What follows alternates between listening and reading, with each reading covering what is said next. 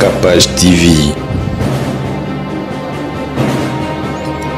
Capage TV. Eh, comment on a reach à Bali et puis euh, débandant nam ba clash nyo sur salami sur internet. Bobo tarabiso bobo taramite maté. Est-ce que moi na yo peut moyembi boué. Mhm. Akoki ne ko bala mpo so alingi. Mais oui. Mais oui. Ils ont interdiction. Oui, non non. interdiction eza te balobi kaka te soki oza mosali na nzambe fo obalaka mosali na nzambe non peut-être nzambe akolekisa yo na kanal ya libala moko boye ya mobali moko aza délégant aza payen aza na makambo boye oyo mokili eyebeli ye mais à travers na yo nzambe atie ye mpo yo nde un jour abongwama na travers ye que quand même eh, asali biso honneur etake bamama même si abali mosali na nzambe te c'est pas le problème c'est pas le cas mhm. bon omoni mm. différence ezali parce que euh, éducation ezalaka eza moko okay. même na europe même, même en akin mm -hmm. mais le problème eke ezali tobotaka bana mai tobotaka motema te okoki kooblige te biso na poto à partir ya 18 ans mwana aza indépendant okay. donc 18 ans mwana aza na droit akozwa ndako na ye akoki kobala asala tout mais awa namonaka moto aza na 30 ans 40 ans 50 ans aza na mpa bapara et puis baparent bao dirige ye bazo coache ye non eza nkombo na yo ouais. ezali titre moko natiaki donc na reconnaitaki nzambe na nga nkombo na yo yesu mm. masiya yesu biso tolelelaka to, to mpo tokóma epai ya tata na ye okay. donc tokendaka tobandela liboso na, na mwana après tokei epai ya tata okay. donc na, eza titre moko nazalaki kolela nzambe na nga sikoyo nalobi ah nzambe na nga na badifficulté naza nango na baproblème naza nango mais nakoleka direct epai na yo te mhm. mais fo nabanda nkombo na yo yesu album na bino yango oyo eza ouais. déjà disponible clip na biso ebima le 19 septembre na 6 heures donc eh, bozala branché na la princesse de l'éternel bokoyeba baprogramme na ye nyonso tout mm -hmm. pour être chic et belle herbie sarah amani vous propose des perruques de qualité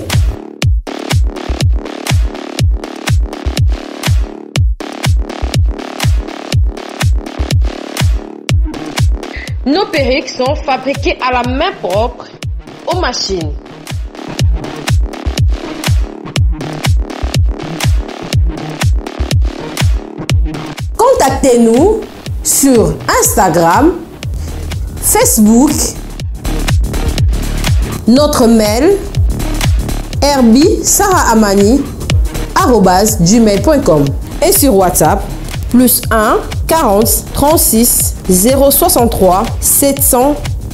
65.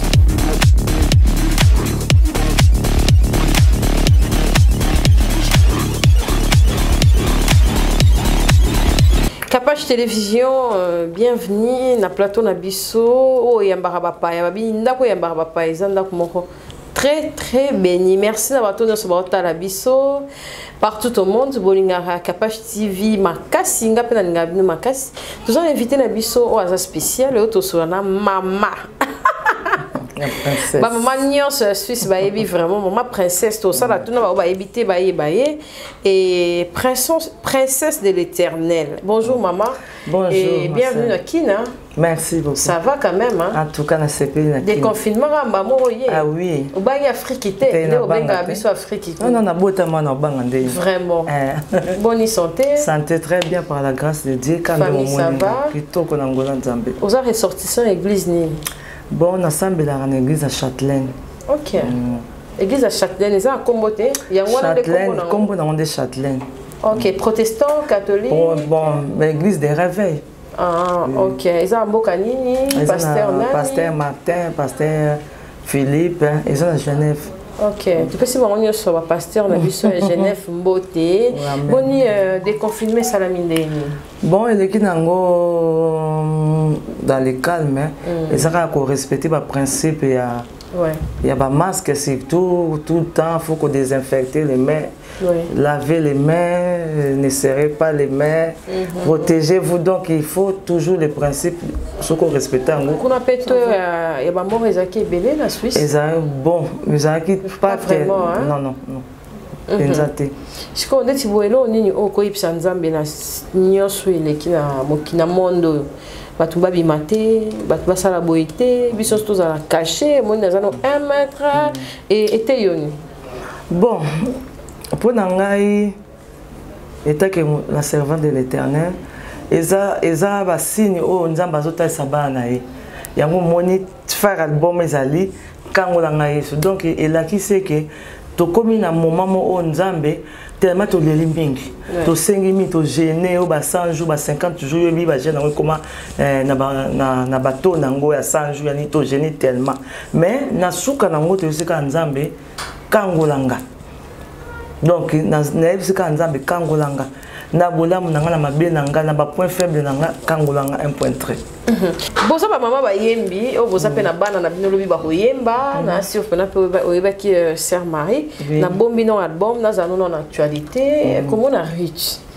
abali epuis euh, débat na baclash nyonso esalami sur internet bobotaka biso oyo bobotaka mitema te est ce que euh, mwana na yo mpe moyembi boye akoki nde mpo kobala moto nyonso alingi mais oui mais oui eza na bainterdiction oui non non interdiction eza te balobi kaka te soki oza mosali na nzambe fo obalaka mosali na nzambe non peut-être nzambe akolekisa yo na kanal ya libala moko boye ya mobali moko aza délégant aza payen aza na makambo boye oyo mokili eyebeli ye mais à travers na yo nzambe atie ye mpo yo nde un jour abongwama na travers yo mhm. donc so tobi tobanda kopona bongo bato balingi na bango kosambela te bakokende wapi donc rite misamu félicitation wana aza mwana biso abali donc ngai na encourage namoni mabe te mhm, mobali namoni mhm. vraiment mabe te nasepeli nango donc eh, quand même eh, asali biso honneur etake bamama même si abali mosali na nzambe te c'est pas le problème c'est pas le cas mhm. namoni mpe oza mokoloto euh, alliance na liboko mama eh, biso bino bamama ya afrique bamama africaine mhm. bokoma ozelaka soki mwana akwei na mbeba to likambo eye nde mama okomi koteya ye parce que on dirait différence moko ezalaka entre bino bamama ya poto na bamama kishasa okoyesa biso différence nini ezalaka wana entre mwana akoli na poto na mwana akoli awa bon omoni mm. différence ezali parce que euh, éducation ezalaka eza moko okay. même na europe même, même en akin mm -hmm. mais le problème eke ezali tobotaka bana mai tobotaka motema te okoki kooblige te biso na poto à partir ya 18 ans mwana aza indépendant okay. donc 18 ans mwana aza na droit akozwa ndako na ye akoki kobala osala tout mais awa namonaka moto aza na 30 ans 40 ans 50 ans aza na mpa bapara et puis bapara baodirige ye bazokoche ye non à partir ya 18 ans mwana akomi libre yango bomoni rite bato bazokondane o oh, eh, nani frère akipe te asalemaka misambo azongisi boye mais non aza déjà mokolo soki aza déjà na 18 ans aza libre akosala choix na ye en plus libala baponela yango motu te fosala choix place okozala à l'aise yo olingi koyeba ke lokola aza chantre de l'éternel aza obligé fo abalaka chantre bongo soki abali chantre akoti makambo malonga te boyebi makambo bachante yango bamabala yango nde ezokoupe ezosimba te bachante donc moto fo asala choix oyo amoni mpo na nga mhm. avi na nga donc euh, naleze bato te nalobi mpo na mwana na biso reti misamu surtout mhm. euh, mama oza mama ya poto oyebi ngai alingaka mama bamama esi toso nakutani na yo mamaopesa ngai expérience makasi kouta epai na yo oparene déjà combien de mariage na na pa te na seki parce que na na parrainé te mais ngai bako parrainé ezaka te kozala na sima marié hein.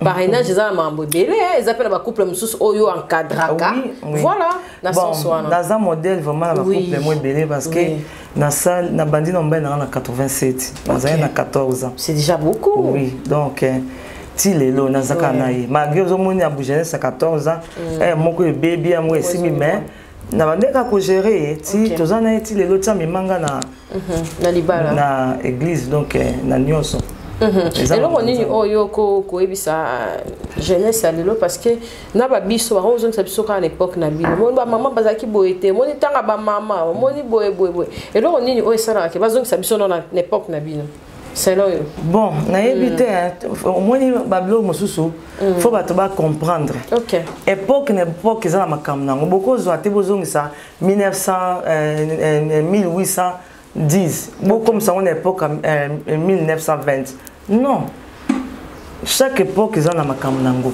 eloko nde bato fo batyaka motu ndo makambo ezo koévolue ah. eza lokola monde internet cerveau makambo tu ezo marche ensemble donc tokozongaka te bapesaka exemple peut-être par rapport bamama ya l'époque oyo ya biso ya kala bazalaki komela mingi mais bamona mpe badegre ebele ozomona azobanga natika bana nazongisa boye sino te bafamille bakoloba bakoseka ozomona bamama à l'époque mais na monde ya lelo toza libre soki emarche te oforce poani il mhm. faut tika soki esimbi nango ofandi na yo donc na époque ya lelo moto nyonso aza libre mais époque ya kala ya bamama bazongisaka biso bazalaka libre te aondima babalela ye 4 5 te même sikoyo soumission ezali ngai na yo naza se naza se kuna basusi kuna mboka mwasi nde toyokaka Oh, londre mboka mwasi moni basi bakoma lokola na excès des ala te te te ezaka eh. ça dépend ndenge ya yo na motu na yo na mobali na yo façon ndenge yo mobali okumbela mwasi na yo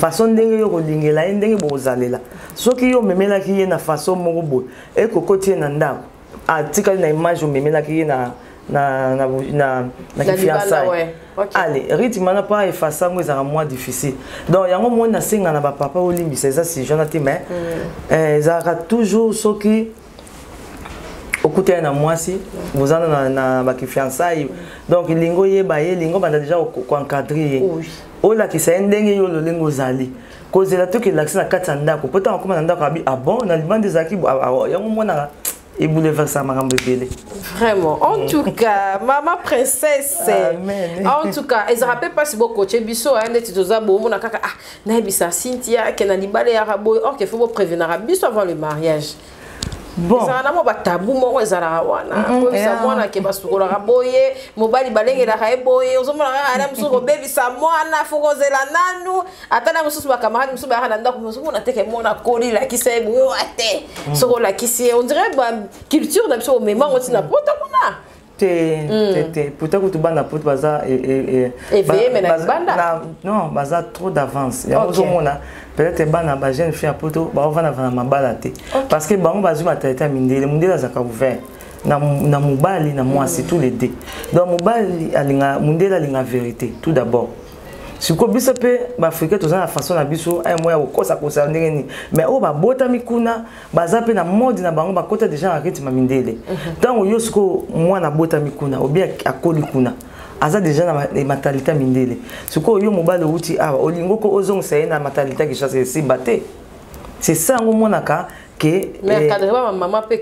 Eh, ezali eza nango mamoyokanisi moto aboti mwana mwasi akoencadre ye te akotika kaka ndenge wana seke aza mama moko nayebi te mhm. so bazalaka mpe ba baza na bango ame nga naza yanga ok tozonga no nalobi se ebele éducation la vie ya mama princesse euh, de l'éternel en tout eh. cas kangola nga yesu hmm. eza témoignage ovivaki basituation moko boye esengi odedie euh, album no epa nzambe to ndenge hmm, non non non na mm. vivre nanga basituation ya mabe te mm. donc eh, na vivre normal lokola motu nyonso ndenge abotama na baparent na ye donc mm. eh, c'est ça eza kaka message oyo nzambe apesaki nga napesa na bana na ye yango omoni natalaki ah soki naleki naza journaliste te nakesala yango bon nayemba na loyembo comme ça bandeko na ngai bakocomprendre message nini ngai nayebisa bango ya kangola ngai yesu C'est l'option d'enregistrer.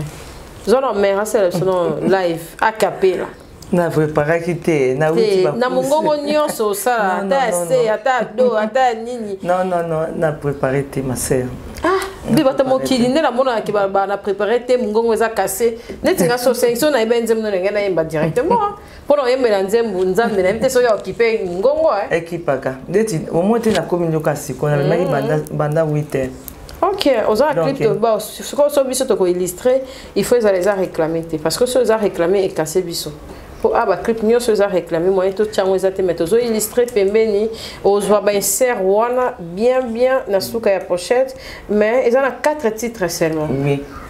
pourquoi nkombo euh, na yo na nkombo na yo intervention eza nini eza nkombo na yo ezali titre moko natiaki donc na reconnaitaki nzambe na nga nkombo na yo yesu mm. masiya yesu biso tolelelaka mpo tokóma epai ya tata na ye donc tokendaka tobandela liboso na mwana après tokei epai ya tata donc eza titre moko nazalaki kolela nzambe na nga sikoyo nalobi ah nzambe na nga na badifficulté naza nango na baproblème naza nango mais nakoleka direct epai na yo te mhm. mais fo nabanda nkombo na yo yesu oyoka ata prière na nga maladi eleki ngai ekoti mhm. ngai chômage mhm.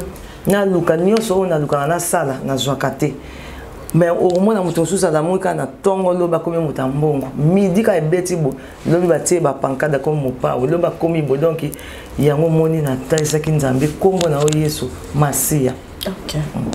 kosi remix kosi ezali bango déjà apport remix yango to eza nzembo ya moto interprété non non banzembo na ngai ah, okomaka banzembo oui oui nakomaka banzembo ok c'est bien mm. eza nzembo oyo nasala yango na 2009 okay. nayembaka yango nga moko na mm. nainvitaka frère mbuta okay. après ntango nakoti na mozindo natikaki mwa album mm. fali nabimisa 15 chanson 15 titre titre oui mm. après namonaki ke non so nake na 15 ezwa nga temps naye kobondela nzambe nzambe ata esinga nabimisa 4 epuis banzembo ye moko aponaki Okay. nzambe aponelaki nga banzembo oyo mm -hmm. yango nazwaki banzembo oyo nayembi yango trésor caché toza na, na kosi mm. après ntango nzambe apesi nga message alobi okoyemba nzembo oyo moko te faut invite bandeko bopartage ensemble nzembo oyo yango okay. na invitaki ba frère na nga na ba sœur toyembaki toyembi lokola quatre personnes na mm. nzembo wana ok euh, trésor caché alors trésor caché ezali alobi nyonso tosalaka na mokili mm -hmm. tout est mhm. vanité Vraiment. mais faut tozalaka na trésor caché okolakisa na yo nyonso mais faut ozalaka na trésor caché na yo donc oza na trésor oyo nzambe ata tali ba fante bamba faillite no tout ma kuti trésor oyo aye na kati yango quand même akoki ko sauver yo mm. okoki ko tiola na kati ya mai babi pena ah ye akufa kaka parce que aza mutu mo mabe makasi comprendre mais nzambe abi non non oyo akotiola te aa ah, na trésor caché na nga fo ebima un jour akosalela yango Mhm. donc titre ya trésor caché ezali donc biso bana na nzambe esengeli fo topesaka nyonso ya biso babozwi na biso tobombisa yango epai ya nzambe mhm. un jour ata obungisi otalisi nzambe trésor caché na nga donc yango moni natiaki titre wana trésor caché nkombo oyo oh, nayebi te so eza ya papa ye naza manager producteur parce que il se retrouver charlie tiamuna miantezila oui tiamuni eza euh. komba papa parce que lokola balanga ouais. nga kombo langa eza miantezila ok oui. ok charlie alors kombo nani charlie kombo nanga ok oui. donc euh, princesse de l'éternel eza titre et album non la princesse charlie yango kombo ok donc la princesse charlie nde kombo na yo bon moto ya ifale eza boye mpo ecomplike biso mwa te maintenant on expliquaki on au début mais namoni photo ondire ezali mwa na mwa tristesse oyebisi nga te ezaka attitude ozwaki mpo na eza mpo na message oyo ngai napesaki mhm. yango nalingaki bato bacapte yango vraiment na ndenge ya calme ouais, oza na manager oza na producteur bon pour le moment ouais, na travaille nga moko oui. na baconcert na bamariage quand même bato mosusu balingaka bayembela bango balive na bafete pourquoi pas eza mosala tokosalela nzambe naza dispo naza mpe na besoin ya manager naza na besoin donc bosoutenir mpe nga na prière oui, donc surtout ça c'est ça mhm. oza numéro ya contact il faut pesa biso numéro moko totya na émission oyo oui. parce que après émission baobenga oui. tout baoretrouve album wapi bon à partir ya numéro oyo so abengi okay. akozwa yango mhm. eloo nini oyo mo omonaka ya Il y a bien te na milieu musical euh, na milieu ya chrétienté côté musique oyo fo bobongisa hypocrisie ouais. oui ya mhm. makasi eza vraiment makasi hypocrisie eza vraiment makasi ouais. oui. ondire mpe bachantre ya poto na a basanganaka te bozalaka misusu kuna misusu a ah, to bino nyonso kaka boza frère patrice elongo kasi boyaka mpe baréunion bobenganaka te hein? bon namonaki communauté moko na mm. suisse hein. ouais. euh, babengisa biso bamusicien tozozela mhm. tozozela ben nanu batiango en place te tozozela ok ebongo na bato nyonso balandi yo en tant que chrétienne eloko nini oyo ata so olingi obungisa kimia bien verse bien parole moko boye oyo ezali trésor caché okokabula mpe na bango nyonso balandi yo lelo mama charlie oyebisa bango nini bamama oyo nyonso baza délaissé mhm. bato nyonso balandi biso baa na bopito baoyo nyonso balandi biso baa na baproblème mhm. bazwi quand même likanisi ya komona yo en travers euh, euh, princesse de l'éternel okoyisa bango nini oyo bakoki kokanga mpona intervention no ya lelo merci merci merci ma sœur kapash nasepeli donc message na ngai ezali juste ouais. bozala toujours na kondima bozala na foi okay. yango nde ezalaka base mm. parce que soki oza na kondima quelque chose ozotyola na yo ozomona mpena ke nga awa natikali na seconde mais kondima wana yango wana nde nzambe azalaka nango besoin okay. donc kondima oyo ngai leo nakopesa na bino etake la princesse de l'éternel donc botya kondima na bino mpenza na, na, na, na maboko boye mibale osimbi yango okangi yango donc kondimaka yango nde ezali close na nyonso mhm. merci en tout cas maman charlie toza na wana mokie nazongisi osusu côté ya famille et merci narcel parce que azozwa biso kitoko na bacadrage kuna mhm. tozongi na côté, côté nanu famille eloko nini oyo esalaka mama ekoki kosala mama nyonso aboti mwana na ye mhm. esengo na vie ezala bioni tangelanga ata 3 bon mm. esengo ezalaka na, na baboti so baboti voilà. mwana na bango mm. mpo basepela eloko ya liboso mwana soki ayebi nzela nzambe Amen. mwana alandi baklase na ye Amen. soki aza mwana mobali mpe mwana mwasi atangi alandi nzambe epuis abali mm -hmm. na voie normale yango wana nde ezalaka esengo ya baboti mhm. ata moboti aza soula ata moboti aza clochard ata moboti mais alingi quand même mwana na ye aza na encadrement ya bien yango nde emoni baparent basepelaka nango mhm. sikoyo bana oyo bazalaka ke mama abokoli mwana na ye mwana akoli ake kobala mais peut-être ele mosusu mwasi ya mwana akangi mama ndoki ou bien eh, mobali ya mwana akangi mama ndoki en tant que mama soki oza na le mosusu na okutani na eloko moko ya bongo bien motu akutani na eloko ya bongo akoki kosala nini Et puis soki ozali moto oyo baye obetela lisolo ya bongo réaction oyo ezala nini comme conseil hmm. donc eza lokola na obali oboti mwana na yo mwana na yo abali abali eh, mobali ubie mwasi ya mwana na yo akoma oloba mama na yo nde ndoki ye nde moto alingi biso tozala te to ye nde moto azo tya kindoki na famille na foyer na biso mpo toboyana so okutani na circonstance yango olobani conseil nini okopesa mama oyo akutani na ka wana en tout cas kapashi vraiment nga etant que la servante de l'éternel nakoloba nini nakotiaka kimia hmm. nakoloba eloko te na otala na mosika babiloko hmm. mosusu ezalaka omoni yango evite soki olingi okota na kati parce que omoni bato na bato eh, bato na hmm. bato baza na bacoutume na bango baza na makambo na bango c'est mieux etant que parent ozala na yo un peu na distance oyo esengama mawa nzambe nzambe peut-être akoki kosunga mm. mais okota na kati vraiment te mpo mm, bamama mosusu bazalaka komona ayoki bongo akomi kolakela mwana to akomi odeborde mpo diable epe alingaka kaka ezala bongo mpo mama aloba parce que minoko ya bamama mpe ezalaka na mwa efficacité okoki mpo kosacrifie mwana na non non ekosimba te so mm. mwana aza innocent okay. innocente okay. ata olobeli moto mabe so moto aza innocent innocente ayebi na yango te eza nile sans effet donc okay. Mhm. sans cause malédiction sans cause eza na effet te okay. okay. babalaka mwasi mpona comportement to comporte, babalaka mwasi kaka mpo eza likambo ya nzambe nzambe nde asangisi eza destin non babalaka mwasi mpona bizaleli oyebango soko ndeni kasi batie fiançailles bakoma kasi na fiançailles wana tobombaka Ah, mabeka sikoyo yango ah, wana ekomi kameleon wana eh. toloba ndenge wana donc mabeka yango wana me babala mwasi mpo na bizaleli mpo na kitoko te mpo na mm. tai te mpo na oyo oh, boni nonono mhm. okuti bizaleli ya malamu ozwi mpe bonheur soki obali mwasi ya mabe ozwi mpe baproblème bamalédiction makambo ebele ebele mhm. mais soki okuti mwasi quand même ata tokokoka na 100 te mais maximum ata okuti na 60 eza mhm. déjà ebele Eh, mpo na église bateyaka biso kaka pour le meilleur hein? pour le meilleur et pour le pire mais badecortikaka le pire te mpo na baeglise mosusu babi balongolaka le pire mpo to bakoloba le meilleur le pire le pire mpe ezolanda ekomi ondire kolanda ebele ebele ah oui hein, eh. parce que mpo na nga libala ezalaka toujours bon oui oui eza mm. terme mm. oyo mokili epesa mais voilà. libala ezalaka toujours le meilleur mm. le pire ndenge bango balobaka ezalaka nango na ba circonstances pe mususu ekoki koya mais tant que moi si maman so babali yo déjà mhm. faut assumer oza na oza na choix te Ok. Mm. En tout cas, merci maman princesse, maman mm. Charlie. Mm. Nzambe ya mona yo rééduquer ba maman ebele na linga kina koto na terrain wana po ezala ka musique te parce que ozala oyo ya mutuya oyo umeli na kati ya libala po ba marier mususu bazo rater matoi mangongi boyoki mama ndenge alobi bamama mosusu baza na baproblème ebele mais à travers mama euh, princesse bato vraiment en tout cas otouche mitema peut-être yo moko oyeba te mwa temps oyo tozwi esimba diske na yo epuis yebisa bango liloba ya kitoko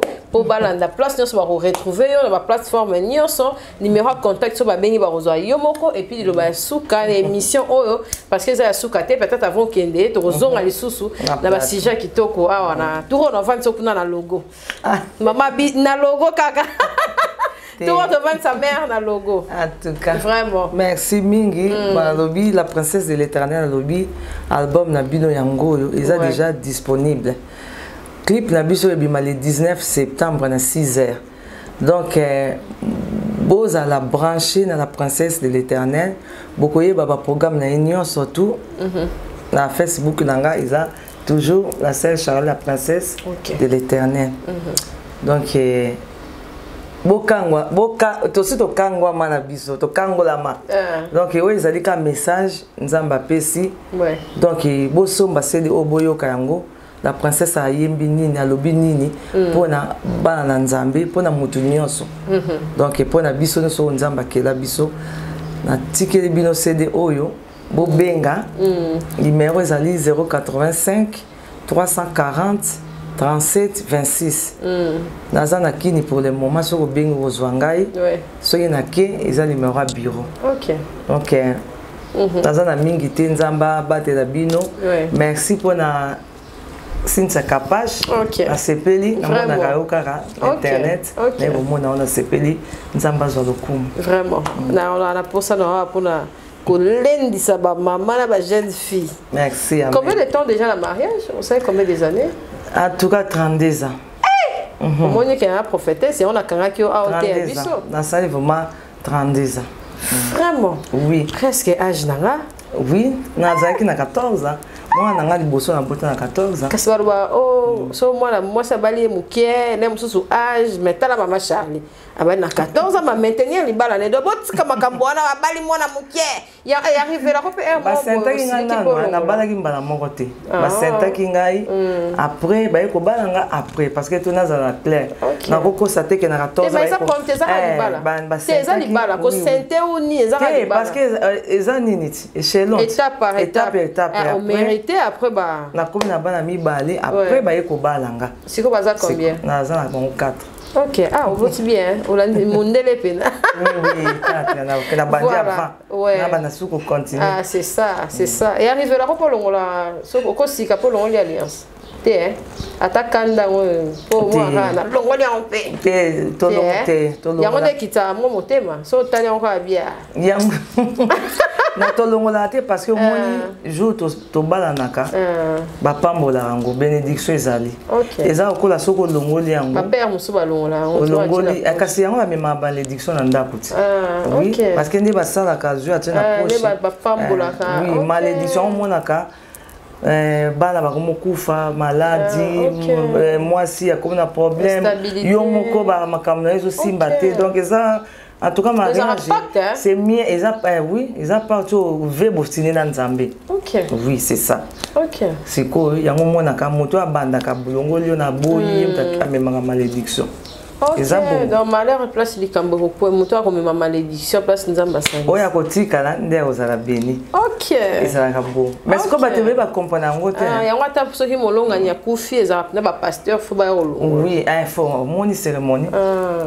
ezalaka cérémonie fo balongola yango kamsa mhm. babondeli mpo na yango kokobala mais soki okabwani ndeti nga soki nakabwani na mhm. kosala yango te mais nakobala susu te moto nakobala ti moko na nga kokufa ok mais foto ezalaki ya kala parce que namoni otie bag mosusu awa te foto eza non eza eza te na, bon natiaka mingi hein. mm -hmm. kutu te po tema nabimaki banda oui okay, mais awa ezalaka na signification na yango te te natiaka nanga ka biso okomaka bade hein. ah, te mais ezalaka significative surtout yo nde oza na église bongo fo kebakeba na mm, place ezotyela natiaka nanga nga azalaka na mm. ngai mhm. nazalaka donc nazalaka na ngai simple naza na besoin okay. nalata nalati nayoka na soni te ke o oh, mpo nazoyembela nzambe mm. nabatama boye nazonga bondi bato mosusu asalaka non nakamela yo te nga ok mm. merci maman en tout cas merci na passage na capage télévision omoni kobaki osala 20 minutes na soki osala 20 minutes te mpo na ozala besoinbwaka mobali te mais fo bwaka natikeli yo na temps eh, oza vraiment bwaka bango nyonso na bana mingi te napesi mbote na mobali na nga alain tiamuna le guide alobi babizu ebele napesi mbote na, mbote na architecte simeo ndondo semeki na nga okay. balobi code ya mboka ya wili musheni wana basemeki na nga okay. eh, nabwaki bango eh, wapi bavie na nga eh, oui wana bazolanda nga ouais. donc napesi mbote na igor tiamuna cédric tiamuna balobi olga miantezila frida miantezila sandra lusakueno bino nyonso donc nalingi bino bafani tour balobi platini malumu balobi frère dace kabasele donc baza teme ebele moye na napesa vraimen te donc eh, balobi yo la carte oui balobi boka ailo na kati ya londres yuyu la carte na kati ya londres meta bosau mabibi nzinga donc eh, pasteur na ngai herve pasteur martin yongo pasteur philippe mama nadine kana donc bambote na bato nyonso balinga la princesse donc euh, nga mpe napesi yo merci merci mpona choix na na capage télévision merci en tout cas eza ya suka te toyamba mm. mama princesse prochainement merci. et merci na baoyo nyonso bazocontinue kotala biso mpo na nga bamama bazalaka précieuse na kati ya capage télévision mpo na nga mwana oyo nabotami nakoli na mama donc affection ya bamama eza koleka mpo ata so nalingi natika mama azosanga fo tanga mm. soki otangi te okozala donc mama bamama mpena donc nazwaka bamama nyonso neti mama ya biso mpo nayebi mm. mosala bamama basalaka mpo na bana mhm. vraiment papa azala azala te mama azali kaka mama yango bafio barespectaka bamama te boza bafio boza vraiment na libakala ya ya mune donc mama nyonso ata ya liboma na nzela faut respecter mama ata ya bato faut respecter bamama nyonso yango azalaka ata na enemi na copine nanga soki mama bango abengi donc donc sa sembla kuto nzela toza kaka bien mpo na soigne kaka na mama donc bamama nyonso bayebi sintia kapache bayebi sintia nde aza na bamama yango kapache télévision eza bénédiction ya bamama ata 100 000 bafandelanga mpena na baprière nzambe abosana bino te en tout cas merci na bamaman et puis même merci na mama martine merci na mama charlie merci beaucoup nzambe apambola apambola mpe yo na libota no mobimba bosomba album na biso oyo eza dispo partout so bozwi ye te bozongeli nga nga na kotinda bino epa na ye en tout cas nzambe apambola biso pe mabota na biso mpona lelo qui wana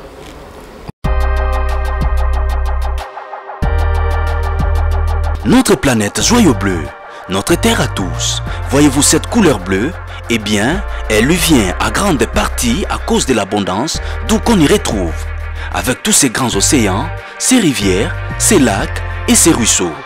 Laissez-moi vous présenter la compagnie qui a compris l'importance de retrouver la source, l'origine de la bonhomme. J'aimerais vous faire connaître aujourd'hui l'eau Kangen de la compagnie Enojek. C'est une eau ionisée et très alcaline.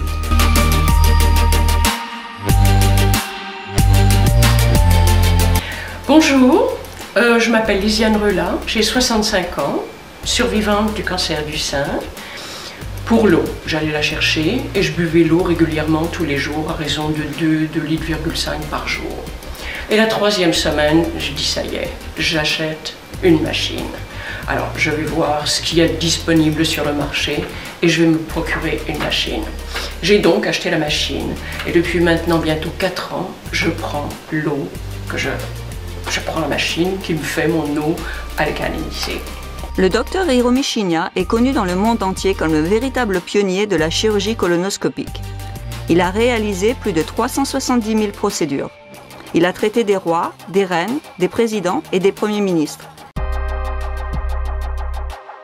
Les facteurs le plus important est l'eau.